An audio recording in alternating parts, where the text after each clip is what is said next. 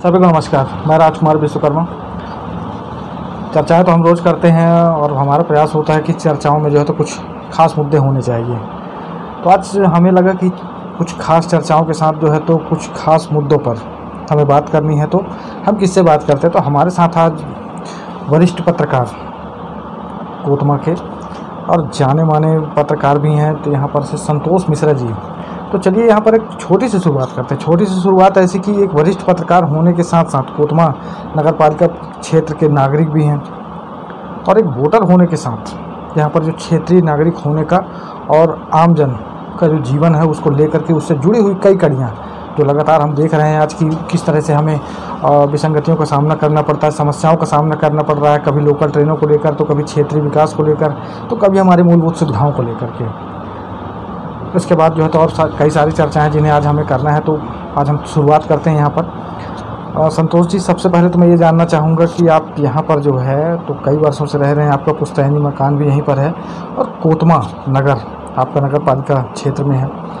तो यहाँ पर आपने जिस विकास को आज तक देखा वो क्या था कैसा था थोड़ा उससे हमें जो है तो परिचित करना है। बहुत धन्यवाद आपको राजकुमार भाई। विकास अपन किसको कह सकते हैं? जहाँ शिक्षा की सुविधाएँ ना हो, स्वास्थ्य की सुविधाएँ ना हो, साधन ना हो आवागमन के, जो निर्माण कार्य चल रहे हों, वो आप देख रहे हैं किस तरह की गुणवत्ता है, किस तरह के लोग काम कर रहे हैं, कौन काम उनको दिया जा दिया जा रहा है, कौन लोग काम दे रहे हैं, जो उसका एक पूरा सिस्टम है मॉनिटरिंग का वो कौन कर रहा है तो अब सर जी आप देख रहे हैं। अस्पताल की हालत आज यहाँ ये है कि यहाँ डॉक्टर नहीं हैं। मरीज़ वहाँ जा रहे हैं तो उनको सुविधाएँ नहीं मिल पा रही हैं। अभी हम लोग कुछ दिन पहले हम लोग उसको, हम लोगों ने छापा भी था अखबार में कि दवाइयाँ बाहर पड़ी हुई हैं, व्हील चेयर नहीं हैं, जो है उसको कबाड़े पड़े हुए हैं। उसके बाद फिर उन्हें निकाला भी था बाहर। यहाँ डॉक्टर मनोज कुमार गुप्ता साहब हैं तो जो अपने संसाधनों से या अपने स्वयं के स्रोतों से कह सकते हैं उसको। या अपने खुद के व्यवहार से सामाजिक संगठनों के लोगों से बात करके लोगों से कहा जाए डोनेशन लेकर के या सहयोग लेकर के और कुछ सुविधाएँ देने को प्रयास कर रहे हैं। चल रहा है। किसी तरह चल रहा है। जबकि कम से कम सबसे पहले बुनियादी सिस्टम है शिक्षा। शिक्षा के बाद स्वास्थ्य। ये दोनों यहाँ पर धराशायी है पूरी तरह से यहाँ पर व्यवस्था चरमरा गई हैं। और नेता चाहे जो भी पद में आए तो इसी इन्हीं मुद्दों को लेके आते हैं। और बाद में राजनीति का मुद्दा बन के रह जाता है वो। ये स्वास्थ्य सुविधाओं को लेकर के मुझे एक बात याद आई कि जब कोरोना काल चल रहा था तो उस वक्त आपने आपने भी देखा होगा कि कई सारे लोगों ने अस्पतालों में जो है तो एंबुलेंस दी कि ये हम दान पुण्य कर रहे हैं। तो दान करने का एक तरीका तो था लेकिन कुछ समय बाद एक सत्य और सामने आया कि लोगों ने अपनी एंबुलेंस जो है तो वापस ले ली थी। ऐसा कुछ नहीं नहीं सही है मैं सहमत इस बात से लेकिन आखिर कम से कम यहाँ के समाज सेवियों ने मदद तो किया ना। यदि वो मदद नहीं करते, सामने नहीं आते तो न जाने हम कितने लोगों के यहाँ पर खो, और लोगों खोते, उनको सुविधाएँ नहीं मिल पाती। लेकिन मैं, मेरा बेसिक प्रश्न यह है कि इस महादेश में हमारे जो महान नेताओं ने लड़ाई क्यों लड़ी थी आज़ादी की? ये तो पहले भी चलता था कि लोग बीमार पड़ रहे हैं, दवाइयाँ नहीं मिल रही हैं, मर जा रहे हैं। कोई उसमें भी सेठ साहूकार होते थे, दानदाता होते थे, वो लोग मदद करते थे। जो बच गए अपने भाग से बच गए लेकिन हमारे देश के महान नेताओं ने इसलिए लड़ाई लड़ी थी कि हम इस देश जब हमारा देश आज़ाद होगा तो लोगों को हमें बेहतर सुविधा चिकित्सा सुविधाएँ आवागमन सुविधाएँ शिक्षा की सुविधाएँ उपलब्ध कराएँगे। आज इस महादेश में स्वास्थ्य विभाग की स्थिति क्या है पूरे आप देख लीजिए पूरा। पूरे प्रदेश में देख लीजिए आप। किसी भी सरकारी अस्पताल में आपको विज्ञापन के बोर्ड से मिलेंगे, नेता मंत्री उद्घाटन करेंगे। लेकिन सुविधाएँ अभी हमारे आप यहाँ कोई बीमार पड़ता है तो हम ले जाएँगे। हम लोग, हम आप गरीब लोग हैं, सामान्य लोग हैं, लेकिन एक जो सक्षम व्यक्ति है कि आपको उत्तम सुविधा है डिलीवरी कराने की, कोई गाइनो डॉक्टर है यहाँ? सरकार का नियम है, उनकी गाइडलाइन में है कि महिला डॉक्टर कम से कम एमबीबीएस उसकी उपस्थिति में डिलीवरी कराया जाना है। बताइए आप यहाँ कहाँ हैं? एक आप, आपने एक डिप्यूट किया हुआ है, वो भी बड़ी पदस्थ है वो। डॉक्टर दीपारानी मारांडी, आपने यहाँ पर उनको अटैच कर दिया। जो यहाँ के बी है, डॉक्टर कियल दीवान साहब, वो खुद मलगम पदस्थ हैं। आपने उनको यहाँ बी बना कर रखा हुआ है। तो ऐसी स्थिति में ये किसकी ज़िम्मेदारी है? यहाँ के जो जनप्रतिनिधि हैं, विधायक हैं, सांसद हैं, या जो और जो नेता हैं, जो पब्लिक के बीच में जाते हैं, जिनको इनसे सरोकार होना चाहिए तो तो मौन धारण किए बैठे हैं। अब हम प्रशासन को क्या दोष दें? बताइए सी को क्या कहें कलेक्टर को क्या कहें? तो अपने स्रोतों से कहीं यहाँ से डॉक्टर ला के कहीं वहाँ से ला के अपने वो काम चला रहे हैं। लेकिन हालत तो आप देख रहे हैं ना। क्षे- क्षेत्र के बारे में आपकी क्या प्रतिक्रिया है? क्योंकि हम यहाँ लगातार देख रहे हैं कि हर बार जो है तो सड़क बनाई जा रही है कभी सड़कों का काम रुका हुआ होता है फिर कभी चालू हो जाता है कभी कोई मंत्री आए कभी कोई विधायक आए लोकार्पण हो रहा भूमि पूजन चल रहा। है क्या सिस्टम क्या है इसका? अब सड़कों की हालत तो आप देख रहे हैं। पिछले कुछ महीना पहले हमारे प्रदेश के माननीय मंत्री जी, जो जिनका ये गृह जिला भी है, परम सम्मानी बिसाहू लाल सिंह साहब, वो यहाँ पर एक कार्यक्रम में आए थे उतना बस स्टैंड में। उसका भूमि पूजन किया था। जंगल डिपो के पास से बस पुराना जो अपना बस स्टैंड है, वहाँ से होकर के, और ये शुक्ला ढाबा बसली चौराहे तक रोड बननी है, साढ़े सात किलोमीटर का। उसका उनने भूमि पूजन किया और बड़े बड़े सपने दिखाए उनने। उसमें तमाम भाजपा के बड़े बड़े नेता भी थे और पूरे नगर के लोग भी थे। तो वो जो पैसा आया है, सड़क निर्माण तो एक नाम हो सकता है, लेकिन वो पैसा आया है सौंदर्यीकरण के नाम पर कि नगर हमारा सुंदर कैसे दिखे। नगर के अंदर जब कोई प्रवेश करे तो लगना चाहिए कि हम किसी बड़े नगर में या किसी बड़े नगर वाले में प्रवेश कर रहे हैं। उसके लिए राशि आई है, जिसमें जंगल डिपो से लेकर के और ये अंडरब्रिज के तिराहे तक बनना है डामर रोड। और वहाँ से लेकर के और, अपन कह सकते हैं जो केराहा नाला है, वहाँ तक बनना है डबल रोड बीच में। और बीच में उसका तीन फीट का, उसको बोलते हैं डिवाइडर। उसमें बिजली के पोल शिफ्ट पूरा होंगे। पूरा सिस्टमेटिक ढंग से पूरा- यहाँ पूरा बिजली व्यवस्था से हाँ। लेकर के डिवाइडर वगैरह और ऐसी सुविधाएँ जो कि हाँ। एन एच जैसी अपने को मिलती है तो नहीं उस- नहीं नहीं मैं जो, जो बात आपसे कह रहा हूँ कि डिवाइडर बनना है फिर इसके बाद दोनों तरफ़ सड़क बननी है सड़क के बाद पेट शोल्डर्स लगाने हैं इसको फुटपाथ कहते हैं। और वो पूरा बनना है सौंदर्यकरण के नाम पर। तो जब माननीय मंत्री जी ने या मध्य प्रदेश शासन ने उस सड़क का इस्टीमेट तैयार कराया होगा तो संबंधित विभाग के अधिकारियों ने उसका पूरा सर्वे किया होगा कि कितना भूमि अधिग्रहण किया करना है। कितना पहले सड़क ए, हमारी रोड थी पीडब्ल्यूडी की कितना हमने उसका पचासा में उसका हमने मुआवजा भुगतान कर दिया है। कितना और मुआवजा देना पड़ेगा लोगों को अगर हम तोड़ेंगे तो। तो मैं समझता हूँ कि शायद विभाग ने ये माना कि जो हम पचासा के लिए जो पैसा पहले दे चुके हैं मुआवजा उतने हमारा काम चल जाएगा। तो उतने के हिसाब से उन्होंने इस्टीमेट बनाई। अब आज रोड का काम क्यों रुका हुआ है? पहले तो भारतीय जनता पार्टी के कुछ हमारे जो यहाँ समाज सेवी नेता हैं, उन लोगों ने उसका विरोध किया कि रोड गलत बन रहा है। दरारें आ गई, बहुत सारी चीज़ें आई। कांग्रेस के लोग भी आए, हमारे जो ब्लॉक अध्यक्ष मनोज सोनी जी, वो भी उसका विरोध किए। सब लोगों ने आया। बाद में उसमें कुछ चीज़ें हुई और बिजली के बिना पोल शिफ्ट किए आप रोड बनाना शुरू कर दिए। आज भी आप देख लीजिए कि बीच रोड में बिजली के पोल हैं। मैं समझता हूँ दुनिया का पहला ऐसा सड़क होगा जिसमें बीच रोड में हैंडपम्प लगा हुआ है। इसमें अब आज कहीं पर आप रोड बना दिए हैं, कहीं पर आप छोड़ दिए हैं, कहीं पर आप मिट्टी डाल दी है, कहीं पर आप बन रहा है, आप किसी गरीब का होता या किसी अगर किसी वर्ग विशेष का व्यक्ति अगर वहाँ पर दुकान या घर होता तो अब तक नोटिस के बाद टूट चुका होता। जब बड़े लोगों के ऊपर आती है ये मामला तो सब एक हो जाते हैं। तो हम नहीं कहते कि आप इसको हाईलैंड बना दो कि पोलैंड बना दो कि आप इसको स्विट्जरलैंड बना दो, हम नहीं कह रहे किसी घर टूटना चाहिए। लेकिन इतना तो होना चाहिए जो आप छज्जे बना के रखे हो या जो आप बाहर दुकान लगा रहे हो, जो सारी चीज़ें हो रही हैं तो वो पैसा बर्बाद ना होने जाए। एक बार पैसा आता है तो आप आप सामने देख रहे हैं, गुणवत्ता क्या है आप भी देख रहे हैं। और जो यहाँ के हमारे बड़े चमत्कारी के इंजीनियर माने जाते थे द्विवेदी जी, आज वो एसडीओ हैं। तो वो तो आपको चाँद सपना दिखा देंगे यहाँ से सैर करने के लिए। तो ये स्थिति है यहाँ। कोई सुनने वाला नहीं है, कोई हम लोग अखबार के लोग हैं, आप लोग हैं। हम लोग समाचार छापते हैं। कई बार हमको प्रताड़ना भी झेलनी पड़ती है, चाहे वो सामाजिक रूप से हो, चाहे और तमाम तरीके से हो, चाहे उपेक्षा के रूप में हो। या धमकी के रूप में हो तो बहुत सारी चीज़ें हैं।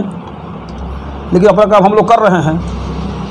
तो प्रशासन से अपनी मांग तो यह है कि सड़क का निर्माण आप कराइए इस्टीमेट के अनुसार। यदि इस्टीमेट गलत बनाया गया है और जिस अधिकारी ने बनाया है उसको उसके खिलाफ आप दर्ज कराइए प्राथमिकी कराइए आप दर्ज कराइए कि अगर वहाँ ज़मीन अधिग्रहण नहीं आप कर सकते हो आप उसको अतिक्रमण नहीं हटा सकते हो तो आप आप आपने क्यों बनाया इस्टीमेट अब आप ये नहीं कह सकते ना किसी कहीं बैठक करके कि साहब है वहाँ बना दो दस फीट का, साहब, यहाँ बना दो सात फीट का, साहब, यहाँ चूँकि माननी का घर है, साहब, वहाँ किसी गरीब का है तो वहाँ पर बना दो पंद्रह फीट का, वहाँ बना दो सात फीट का।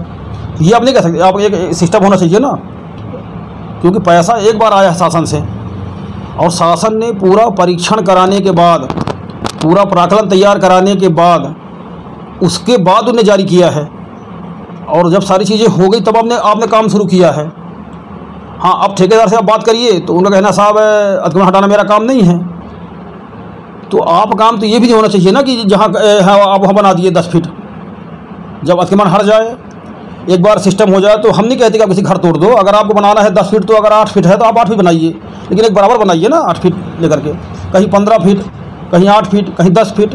तो ये उसमें एक जनता में आक्रोश की भावना आती है। तो ये स्थितियाँ हैं यहाँ की। अभी हाल फ़िलहाल जो है तो एक तरफ़ महँगाई का दौर है, उस महँगाई के दौर के बीच से जो है तो कहीं ना कहीं पर हर परिवार, हर वर्ग जो है तो जूझ रहा है। ऐसे में लोकल ट्रेनों का बंद होना आपको भी पता कि कै- आज कई दिन हो गए।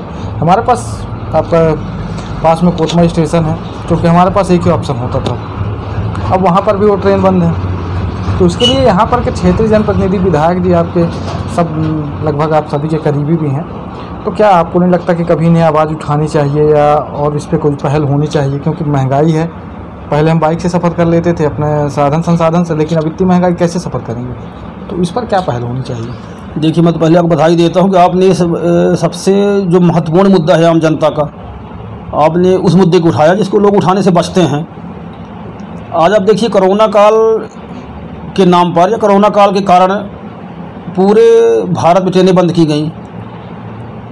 उसके बाद कोरोना चला गया, नेताओं की बड़ी रैलियाँ हो रही हैं, लाखों लोग उसमें शामिल हो रहे हैं। तो अब तो ये मान लिया गया कि चूँकि मास्क भी अनिवार्य नहीं कर दिया गया है, ख़त्म कर दिया गया अब कोई चीज़ें नहीं हैं। तो ट्रेनें चलनी चाहिए। अभी एक सपना दिखाया गया था कि एक अप्रैल से तमाम ट्रेनें चलेंगी। अब जो चल रही थी वो भी बंद कर दिया गया है। जब आप बात करिए डीआरएम साहब से या विभाग से तो कह रहे हैं साहब काम चल रहा है झलवारा के पास कहीं पर। तो गुड्स ट्रेनें आप निकाल रहे हैं। वो कैसे जा रहे हैं? तो वो कैसे निकल रहा है? तो जहाँ आपका चूँकि सरकार व्यवसाय के लिए नहीं होती ना सरकार जन कल्याणकारी कामों के लिए होती है। इस महादेश में हमारे बड़े बड़े नेताओं ने देश को आज़ाद ही इसलिए कराया था कि हमारी सरकारें जन कल्याणकारी काम करेंगी जनता को राहत देंगी। तो वो तो अब हो नहीं रहा है। तो सरकार अपना व्यवसाय कर रही है। और ट्रेनें बंद करने का जो बड़ा कारण मुझे समझ में आता है, जो मैंने लोगों से बात किया और कुछ हमारे भाजपा के मित्र भी हैं तो ऑन द रिकॉर्ड तो नहीं कह सकते, लेकिन कई बार हमारी चर्चा होती है तो इस बात को वो भी कहते हैं कि डीजल पेट्रोल में जिस तरह से भारी मात्रा में टैक्स वसूले जा रहे हैं, मैं समझता हूँ करीब साठ से सड़सठ रुपये टैक्स है एक लीटर पेट्रोल में। तो जब ट्रेनें चलती हैं तो उसका खपत कम होता है, लोग ट्रेनों से यात्रा करते हैं। अब आपकी मजबूरी है ये तो आप सड़ोल जाना है तो आप बाइक से जाइए। या परिवार से जाना है तो आप कार से जाइए।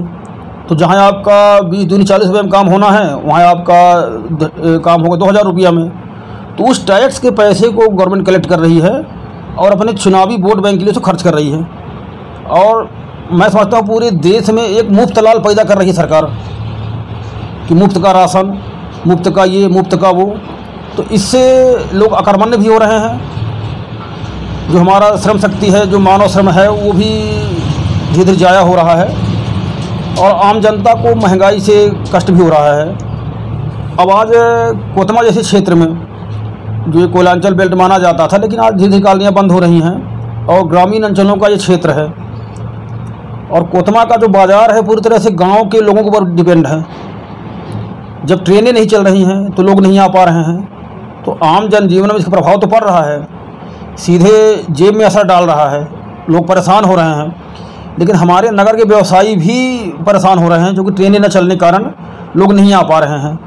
आज आप देख लीजिए, जो ट्रेनें चल रही हैं तो कोतमा से बिजली किराया है दस रुपया। लेकिन आपको यहाँ से जाना पड़ेगा तीस रुपये दे करके वो भी मुश्किल से एक ट्रेन है वर्तमान में। अब आप देखिए, कोतमा में सवेरे शटल चलती थी। सवेरे साढ़े पाँच छः बजे। वो निकल गई, एक ट्रेन नौ बजे आती थी। एक साढ़े दस बजे आती थी चंदिया छिरमेरी फिर एक बारह बजे आती थी आपका अंबिकापुर शहडोल। फिर शाम को आती थी एक ट्रेन रीवा वाली, एक डीएमओ। फिर वो ट्रेनें फिर उसके बाद दो ट्रेनें रात में जाती थी जो भी चल रही हैं। और ये ट्रेनें वापस लौटती थी। तो आपके बिजरी के हो गए बैहा टोला हो गए, कटकोना हो गए, हर्री हो गए, या इस क्षेत्र ही धर्मा लीजिए आपका हरा दुर्वासिन हो गया, मोहरी हो गया, जमुना आपके हो गए तो इस क्षेत्र के लोग भी अपना बाज़ार करने आ जाते थे। आज व्यापारी नहीं आ पा रहे जैसे जो सब्ज़ी भाजी वाले हैं। वो बेचारे नहीं आ, कैसे आए वो नहीं आ पा रहे हैं। तो उसका असर अब सब्ज़ी भाजी वाले लगाए हैं। अब मान लीजिए गाँव के व्यक्ति कोई बाज़ार करने आया है यहाँ तो अगर सब्ज़ी लेने आया है, कपड़ा लेने आया है तो समोसा भी खाएगा, पान भी खाएगा, चाय भी पिएगा। तो कम से कम बीस लोगों का उस व्यवसाय चलता है। तो ट्रेनें न चलने से वो चीज़ें पूरी ठप हो गई। इस मामले को लेकर मैं छोटी सी मेरी राय है कि कोतमा की जनता ने एक विधायक चुना। विधायक होते हैं यहाँ पर सुनील सराफ जी। मैं किसी दल पे नहीं जाता, लेकिन क्षेत्रीय विधायक होने के नाते और जैसा कि कोतमा विधानसभा। तो कहीं ना कहीं पर आज देखा जा रहा है कि वैसे मुद्दों को लेकर के सामने नहीं है कहीं पर। नहीं नहीं, विधायक जी ने तो एक आंदोलन चलाया था और मनंदगढ़ में वो छोटा नागपुर के पास, वहाँ मनंदगढ़ के लोगों को लेकर क्योंकि एक एक ही रूट है ये, चिरमिरी से लेकर के आपके कटनी तक। तो यहाँ करने में अपन, कुछ दिक्कतें हो सकती थी, मैं समझता हूँ। तो इनने वहाँ के जो विनय जायसवाल जी हैं, विधायक और वहाँ के जो कांग्रेस के नेता हैं, जो वहाँ के जो समाजसेवी हैं, वहाँ मनंदगढ़ के चिरमिरी के और कोतमा के भी हमारे जो लोग थे, उन सब लोगों ने एक कार्यक्रम चलाया था रोल रेल रोको आंदोलन। रेलें उनने रोकी थी, गुड्स ट्रेनें रोकी थी, संघर्ष किया था उनने। और शायद ये कहा गया था कि साहब, जब तक वहाँ से आदेश जारी नहीं होगा, हम कुछ नहीं कर सकते। तो ये मामला चूँकि डीआरएम का लेवल का मामला नहीं है मामला है सांसद महोदय के लेवल का। ये मामला है मंत्री लेवल का। तो हमारे यहाँ के सांसद जिनको हम लोगों ने चुना है इस क्षेत्र ने तो वो भाजपा की आई टी सेल कार्यकर्ता हो गई हैं। वो योगी जी के मुख्यमंत्री बनने पर ट्वीट कर रही हैं। जो मैंने उनके ट्विटर हैंडल खंगाला, उसमें कहीं भी नहीं लिखा हुआ कि मैंने इस मुद्दे को उठाया कि ट्रेनें क्यों बंद हैं, ट्रेनें चलनी चाहिए। आप पटना में देखेंगे तो बड़े बड़े योद्धा नेता आएँगे, तमाम दुनिया भर क्षेत्र भर के। कोई रेलवे सलाहकार बोर्ड मंडल का सदस्य बताएगा, कोई पूर्व बताएगा, कोई वर्तमान बताएगा, लेकिन एक व्यक्ति ने भी संघर्ष के नाम पर कुछ नहीं किया। अब आप कल्पना करिए कि कल मान लीजिए स्थितियाँ सामान हो जाएँ या लोगों को दबाव में या उनकी कृपा से मान, अपन मान सकते हैं मान लो भारत सरकार के, ट्रेनें चलनी शुरू हो जाएँ। तो यही नेता अपने घर से झंडी में उसमें डंडी बाँस से डाल करके आ जाएँगे, यहाँ झंडा दिखाने धक्का मुक्की करते हैं कि हमारे सहयोग से। और उनके जो चौवे होंगे जिनको चौवे अपन बोलते हैं, जो ये फेसबुक ट्विटर में जो पाल के रखते हैं फेक आईडी वाले। तो वो उसमें लिखना शुरू कर देंगे, माननीय भैया के सहयोग से भैया ने रेल मंत्री से मिला। और आप ट्विटर हैंडल खंगा लिए आप माननीय सांसद जी का, जो पुरानी फ़ोटो ही मिले होंगे वो, कभी उसको डाल देंगी। तो एक तरह से मैं कह सकता हूँ, बहुत ईमानदारी के साथ में कि हमारा जो शहडोल संभाग है, ये नेतृत्व विहीन क्षेत्र है। यहाँ जिसको अपन लीडर्स बोलते हैं कि जो लीड करे, जो जन मुद्दों को उठाए, जो लोगों के साथ संघर्ष करे, और एक राजनीति से परे जो व्यक्ति संघर्ष करे उसका यहाँ सर्वथा अभाव है। बिसाऊलाल जी हुआ करते थे तो वो संघर्ष करते थे। और हुआ करते थे से क्या मतलब अभी तो है वर्तमान नहीं अभी हैं लेकिन वो उस अभी संघर्ष के रास्ता उन्हें छोड़ दिया है। अब वो डेवलपमेंट का चादर ओढ़ लिए हैं उनने। तो डेवलपमेंट के नाम पर राजनीति कर रहे हैं। बाकी चूँकि वो बेसिक नेता थे तो वो सड़कों पर संघर्ष करते थे। उनकी एक मर्यादाएँ भी हैं कि आज जो सरकारी मंत्री हैं तो सड़क पर राजनीति नहीं कर सकते वो। लेकिन इसके पहले वो संघर्ष करते थे आम जन तक मुद्दे उठाते थे जन तक साथ लेकर के चलते थे।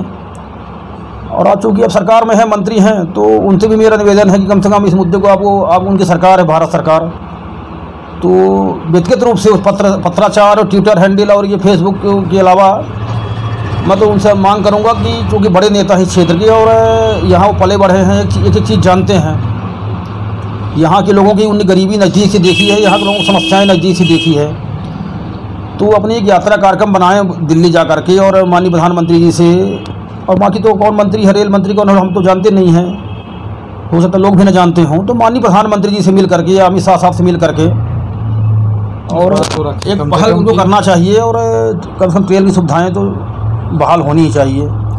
एक और भी मामला है कोतमा में जो जुड़ा हुआ है इस क्षेत्र से फर्जी भर्ती सिविलियंस का।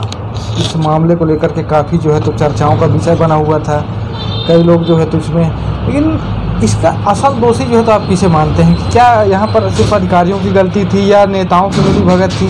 कौन है इसका असली दोषी कौन? है आप किसे मानते हैं? आपका नज़रिया क्या है इसका देखिए, मैं तो आपको बधाई देता हूँ कि आपने इतने महत्वपूर्ण और जो संवेदनशील मुद्दा उसको आपने उठाया। मध्य प्रदेश सरकार ने राजनगर क्षेत्र में तीन नगर परिषद गठन किया। डोला, बनगमा, डूमर कछार अब ये उनके लिए कमाई का क्षेत्र हो गया, जो वहाँ के नेता थे, जो वहाँ के अधिकारी थे। अधिकारी तो एक मोहरा हो सकते हैं, मैं उनको दोष ज़्यादा नहीं देता अधिकारियों को। जो वर्तमान स्थितियाँ चल रही हैं तो बहुत ज़्यादा उनको दोष नहीं देता मैं, वो एक मोहरा हो सकते हैं।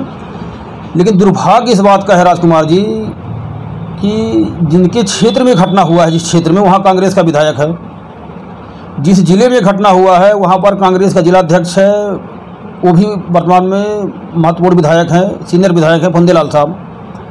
और जिस ज़िले में घटना हुआ है, वहाँ के माननीय मंत्री जी गृह जिला है ये। अब आप समझिए कि क्या दोनों दलों के बिना नेताओं के सहमति की या साठ गांठ की या प्रत्यक्ष हो या परोक्ष हो, अलग विषय है। इतना बड़ा घोटाला हो जाना जिसको मिनी व्यापम कहा जा रहा है, संभव नहीं है ना? तो अधिकारी दोषी तो हो सकते हैं, लेकिन सबसे बड़े दोषी तो जो, जिनको जनता ने चुन के अपना रहनुमा बनाया है। मैं उनको दोषी मानता हूँ जो यहाँ के जो नेता हैं बड़े बड़े नेता।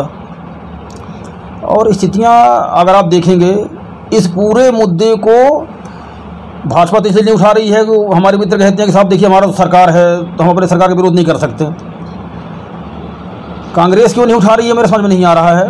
कभी कभार एक क्वेश्चन पूछ के दाएँ बाएँ से अखबार, वहाँ और उसको, उसके, उनके चौके उसको चला देंगे फेसबुक में कि माननीय जननायक ने इसको उठाया, पूछा। लेकिन उसका परिणाम कुछ नहीं आना है।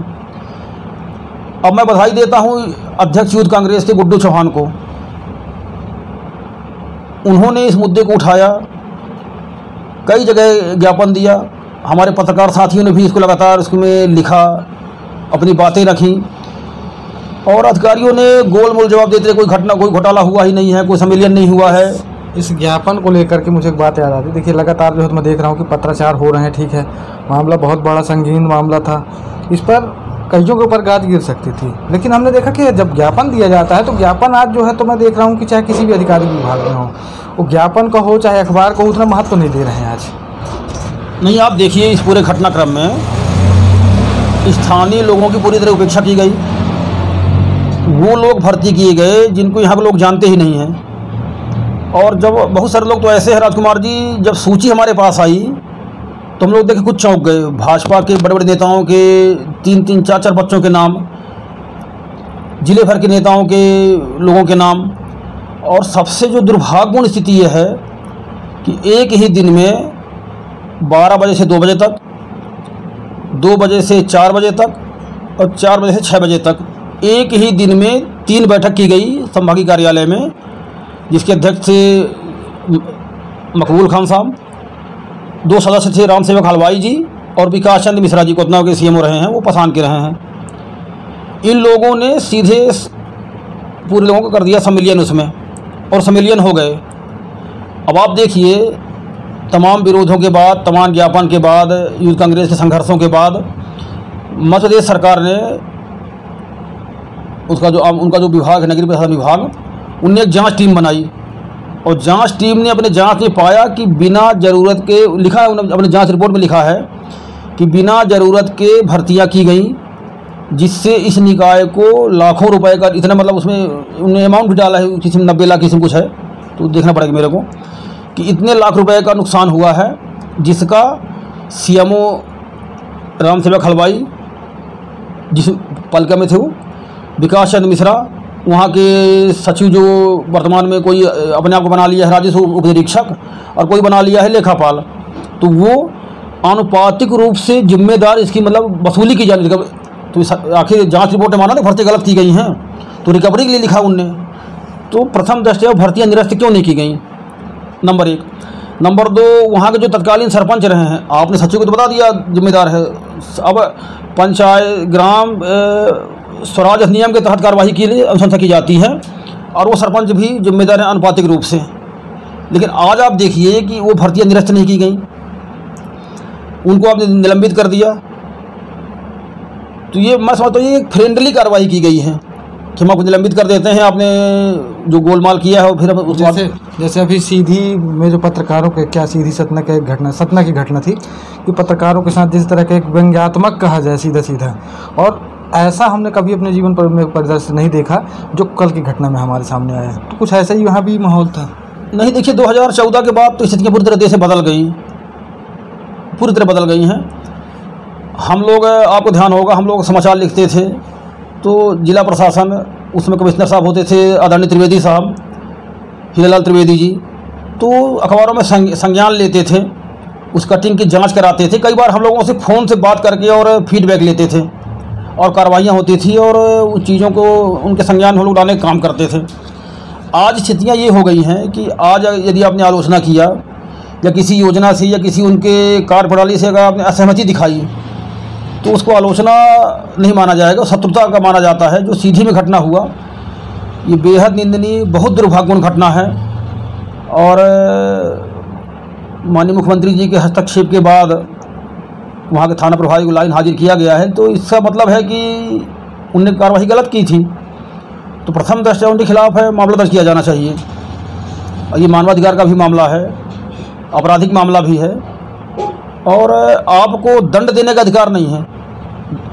इस महादेश में कानून है, संविधान है, माननीय न्यायपालिका है तो दंड निर्धारण करने का अधिकार केवल न्यायपालिका के पास है।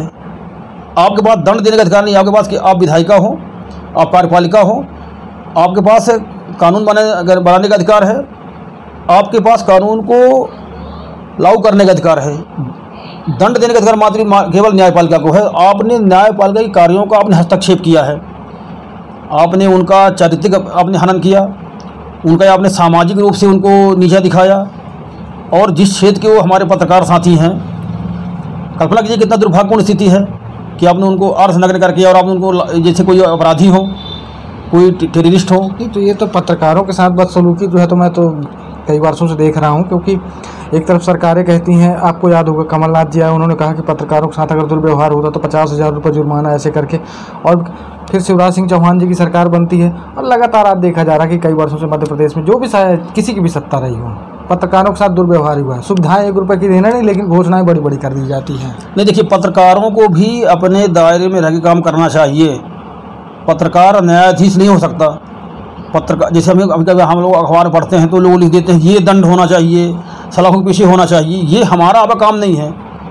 हमारा काम है कि जो चीज़ें नियम के खिलाफ हुई हैं, जो जनता के हित के खिलाफ हैं, उसको अखबार में छापना या टेलीविज़न में चलाना और प्रशासन का, शासन का और जो बड़े नेता हमारे क्षेत्र के, उनके ध्यान में इस संज्ञान में उस बात को लाना। हमारा काम न्याय करना नहीं है, हमारा काम है दबाव बनाना नहीं है।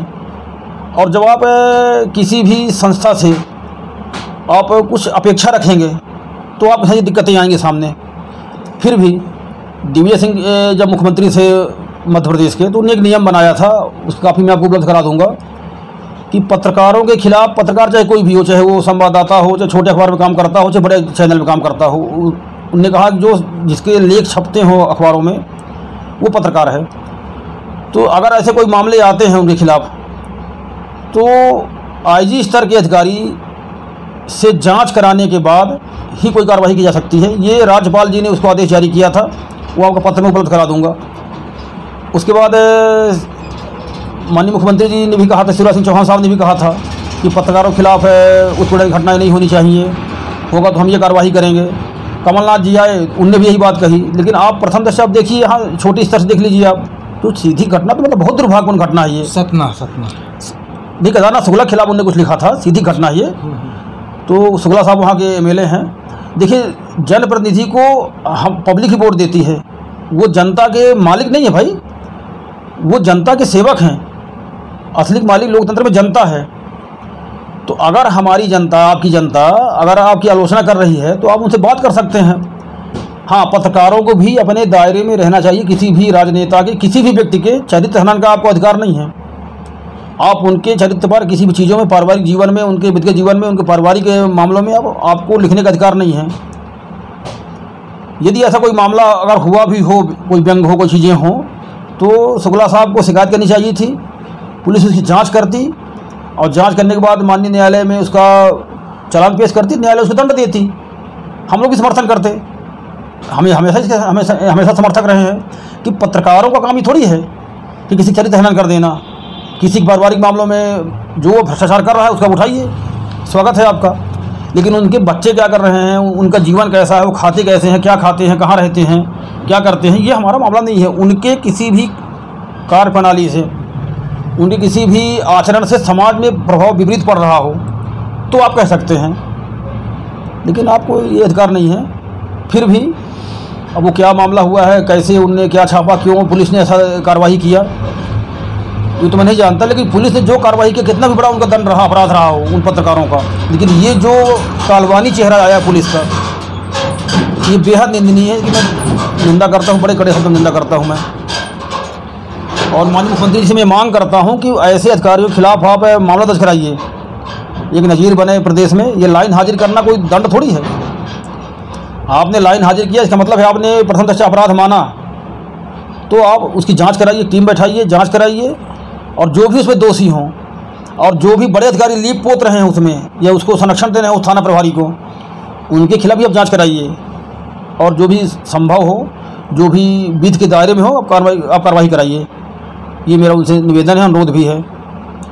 कोतमा क्षेत्र के लिए अंततः जो है तो कुछ अगर आप कहना चाहें, क्योंकि कोतमा क्षेत्र के आपने यहाँ पर रहवासी, नगरवासी, जो भी वो एक वोटर, हर स्थिति में जो है तो आप लोग यहाँ पर जो है तो सर्वोपरि होते हैं। तो क्या कहना चाहेंगे? यहाँ पर अपने क्षेत्र की जनता से, यहाँ के नेताओं से और यहाँ पर के, क्योंकि आगामी चुनाव भी होने हैं 2023 में विधानसभा के होंगे और अभी नगरीय निकाय के चुनाव तो जो चल रहे हैं, सो चल ही जाए देखिए, ये हमारा कोतमा क्षेत्र आप जब इसका पूरा पढ़ेंगे इतिहास उठा करके तो यहाँ से बड़े बड़े मूर्धन नेता निकले।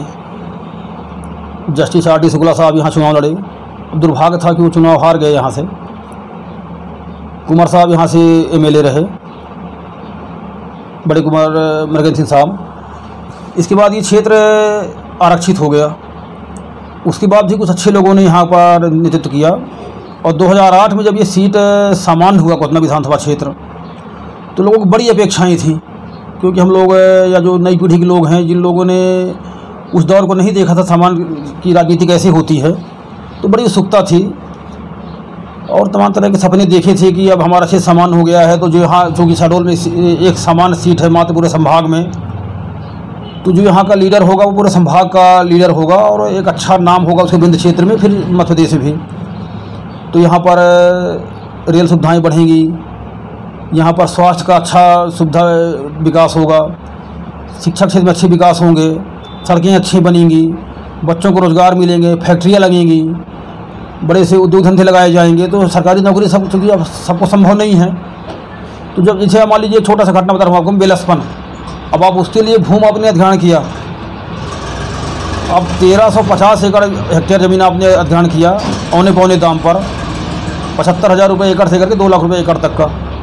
आज उस पूर, अगर मान लीजिए वहाँ फैक्ट्री लग जाती, मान लीजिए जो तेरह सौ बीस मेगावाट का जो पावर प्लांट लगना था तो मैं समझता हूँ कम से कम एक शहर डेवलप होता वहाँ पर, और हज़ारों हज़ार लोगों को वहाँ पर रोज़गार मिलता प्रत्यक्ष या परोक्ष रूप से। और कम से कम जिनकी ज़मीनें ली गई हैं रोज़गार के नाम पर, नौकरी के नाम पर, उनको नौकरियाँ मिलती। लेकिन एक पूरी एक साजिश के तहत यहाँ के उसमें नेता भी शामिल थे। कभी आप द रिकॉर्ड भाई आप आपसे बात कर सकते हैं। उसमें नेता लोग भी शामिल थे। आज वो ज़मीन अधिग्रहण हो गया। वो ट्रांसफ़र हो गए हिंदुस्तान पावर प्रोजेक्ट के नाम पर, अडानी साहब के नाम पर। अब वहाँ कोई सुविधा नहीं है। वो प्लांट वहाँ लग नहीं रहे हैं। वहाँ के जो पेंशन थी, बच्चों के, लोगों के से विधवा पेंशन थे, जो रोज़गार भत्ता था, वो बंद कर दिया गया। वो लोग जब बात करते थे कहते हम हम तो हमसे से- हमने तो आपसे ज़मीन लिया नहीं है। ज़मीन जिसको अब उससे बात करिए। तो अगर कोई अच्छा नेता यहाँ पर होता क्योंकि हम लोग सपना देखा था कि समान सीट होगा तो बड़ा नेता यहाँ पर आएगा, जो अपनी बात सदन में रखेगा। अपनी बात उसकी बात को सुनी जाएगी। अपनी बात वो भारत सरकार सामने भी रखेगा किसी माध्यम से। तो एक डेवलपमेंट होगा रोज़गार के अवसर विकसित होंगे। तो वो सपना तो चकनाचूर हो गया 2008 से लेकर के 2000 अभी 18 तक। तो आज आप देख लीजिए, रोज़गार के क्षेत्र में पूरी तरह से ये कोयलांचल क्षेत्र है। तो कॉलोनियाँ बंद हो रही हैं। आप तो कॉलोनी क्षेत्र के लोग हैं। अभी अब देखिए कोतमा का बारह नंबर वार्ड है, उसमें छत्तीस सौ अड़तीस सौ वोटर होते थे। अभी सर्वे कराइए तो बारह पंद्रह सौ वोटर मिलेंगे, बाकी सब सब चले गए रिटायर होकर के। कॉलोनियाँ बंद हो रही हैं। तो आने वाले समय में स्थितियाँ क्या होंगी? ट्रेन, ट्रेनें बंद हैं। सिंचाई के साधन यहाँ है नहीं। यहाँ एक फसली ज़मीन है। तो जो जो लड़के पढ़ के आ रहे हैं, जो नई पीढ़ी आ रही है तो उनका भविष्य अंधकारमय है और एक जो उन्माद पूरी तरह फैलाया जा रहा है, खासकर हमारे कोतमा में, आप पूरा देखिए, पूरा उठा के देख लीजिए, पूरा उन्नीस सौ छप्पन से बावन से छप्पन से लेकर के और वर्तमान 2018 तक, यहाँ जाति का कोई फैक्टर कभी नहीं रहा। यहाँ जाति धर्म का फैक्टर कभी नहीं रहा। और ऐसे ऐसे लोगों ने चुनाव जीता है जिनके मुश्किल से पूरे विधानसभा में सौ डेढ़ सौ वोटर हो गए उन- उनके समाज के, लेकिन वो यहाँ के एमएलए बने हैं। तो जातिवाद कभी नहीं था, लेकिन आज एक नई दौर अब अब चल रहा है। तो अब केवल जहर खोलने का काम और उन बच्चों को रोज़गार से जोड़ने के स्थान पर उनको एक उन्माद में लगा देना, उनसे नारे बुलवाना, उनको एक, कार, कहीं पर कार्यक्रम ऑर्गेनाइज कर देना। तो यहाँ के जो जनप्रतिनिधि हैं, जो समाज सेवी हैं, उनका भी दायित्व बनता है कि उन बच्चों को सही दिशा दें। और कम से कम, जो यहाँ के माननीय विधायक हैं, जो यहाँ के माननीय सांसद जी हैं, और जो बड़े बड़े जो नेता हैं, बड़े मूर्धन्य नेता हैं, महाप्रतापी नेता भी हैं, अभी जो अठारह में अभी तेईस में चुनाव होना है तो जो फिर रैली वगैरह निकलती है कोई मान लीजिए यहाँ पर जुलूस हो गया तो तमाम क्षेत्र के लोग आ जाते हैं यहाँ पर बड़े बड़े नेता। तो चुनाव के समय तो आते हैं ठीक है यहाँ से विधायक बनना चाहते हैं और अपना विकास करना चाहते हैं क्षेत्र का।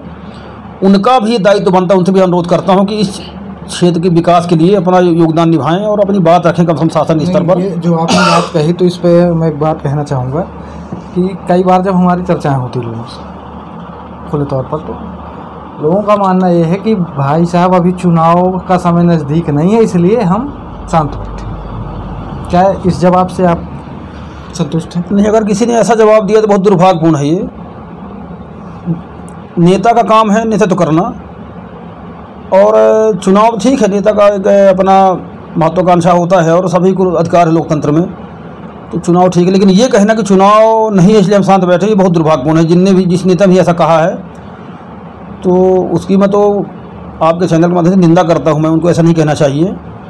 नेता का काम ही है आम जनता के जुड़े मुद्दों को लेकर के संघर्ष करना, शासन से, प्रशासन से उचित मंच पर अपनी बात रखना। जब कोई ना सुने तो सड़क में आकर के गांधीबाजी तरीके से अपनी बात को सत्याग्रह करके, आंदोलन करके, विरोध प्रदर्शन करके अपनी बात वहाँ तक पहुँचाना और जनता के हित में लड़ना, जनता के लिए संघर्ष करना। अब यहाँ पानी की सुविधा होनी चाहिए बिजली की सुविधा होनी चाहिए, स्वास्थ्य की सुविधा अच्छा मिलना चाहिए लोगों को, शिक्षा की सुविधा अच्छी होनी चाहिए, हमारे बच्चे बाहर पढ़ने न जाएँ। आज आप देखो, हमारे एक लड़का, हमारे कोतमा का, आखिर यूक्रेन पढ़ने गया ना? हिमांशु सोनी, अब हमारे परिवार से जुड़ा हुआ लड़का है वो तो कितना कष्ट बीता हम लोगों को जब जब तक नहीं आ पाया वो। तो आज बताइए आप, इस महादेश में ये स्थिति निर्मित क्यों है? यूक्रेन जैसा चार करोड़ की आबादी वाला देश इस महादेश के बच्चों को पढ़ा रहा है कम पैसे पर। लेकिन हम अपने हिंदुस्तान में बच्चों को शिक्षा नहीं दे पा रहे हैं। इतनी महँगी शिक्षा है। तो इस पर भी तो विचार होना चाहिए ना। चाहे, अब- बात कहीं से उठती, अब हम ये कह के नहीं छुप सकते ना कि भारत सरकार का मामला है। कहीं से बात तो शुरू होनी चाहिए ना। हमारे प्रदेश में मेडिकल कॉलेज हैं। लेकिन अब देख लीजिए क्या स्थिति हो रही है। तो जब तक बच्चों को अच्छी शिक्षा नहीं मिलेगी और आज़ादी का मुख्य उद्देश्य ही यही था हमारे नेताओं का, कि जो उनका शोषण हो रहा है, जो उनके श्रम का दुरुपयोग किया जा रहा है, जो उनके प्रतिभा का दुरुपयोग किया जा रहा है, लोगों को पढ़ने नहीं दिया जा रहा है तो जो भी आज़ादी के आंदोलन में लड़ाई लड़ाई लड़े हैं बड़े बड़े नेता सब विदेशी पढ़े लोग हैं, सक्षम लोग, संपन्न लोग थे। उस टाइम में चाहे सरदार पटेल साहब हों, गांधी जी हों, नेहरू हों, बाबा साहब हों, अंबेडकर जी या सुभाष चंद्र बोस हों, जो जो भी बड़े बड़े नेता हुए हैं, सब विदेश से पढ़े लोग अच्छे अच्छे बैरिस्टर थे, अच्छे डिग्रीधारी थे, उन लोगों ने लड़ाई लड़ी है, जिनको जिनको ज़रूरत नहीं थी त्यागने की सुख सुविधा इसलिए कि हम यहाँ, हमारा देश आज़ाद होगा तो उनको हम अच्छी शिक्षा देंगे, अच्छी स्वास्थ्य सुविधाएँ देंगे। आज आप देख लीजिए ट्रेन की बात आप करिए ये पता है सरकार को कि अगर मान लीजिए दो साल, दो हज़ार लोग यात्रा कर रहे हैं ट्रेन में तो उसमें सौ, दो सौ लोग डब्ल्यूटी होंगे, ये पता है? सरकार को ये पता है कि कोतमा से अगर वहाँ किराया सोलह रुपया है शहडोल का तो घाटा है। लेकिन सरकार काम, जन कल्याणकारी काम करना है कि हमारा गरीब व्यक्ति भी यात्रा कर ले। आप टैक्स बढ़ाइए आप। आपका इस लग्जरी है, एसी है, आप उसे बढ़ाइए, कोई दिक्कत नहीं है। आप उसमें अगर हमें भोपाल जाना है, साढ़े नौ सौ रुपये किराया है एसी का तो हम साढ़े दस सौ दे देंगे। लेकिन अगर कोई व्यक्ति गरीब आदमी जाना चाह रहा है तो उसके लिए होना चाहिए नहीं भाई जनरल में जा रहा है, धक्का खाते हो। तो एक सौ पच्चीस रुपये हमसे पहुँच जाए वो। ये उद्देश्य थी मतलब आज़ादी के पूरे थीम का। वो पूरी तरह चकनाचूर हो गया है। वो अपना उद्देश्य हम कोसों दूर हो गए हैं। आज हमारे यहाँ का युवा नौजवान परेशान है। रोज़गार के साधन नहीं है। महँगाई इतनी ज़्यादा है कि उसकी आप कल्पना नहीं कर सकते आप। आप तो चूँकि चैनल वाले आप देखते हैं लोगों से बात करते हैं। तो ये स्थितियाँ हैं। तो उस बारे में आप क्या कह सकते हैं अब? चलिए ठीक है तो ये है आज की हमारी खास चर्चा और यहाँ पर जो है तो ऐसी कुछ चर्चाओं को लेकर के लगातार हमारा प्रयास होगा कि हम आप सभी के सामने कुछ ऐसी ही मुद्दों को जो है तो लेकर के लगातार हम आपके सामने आते रहें। इसके साथ मैं विराम देना चाहूँगा और अगली कड़ी में हमारी मुलाकात फिर होगी। मैं राजकुमार विश्वकर्मा, धन्यवाद।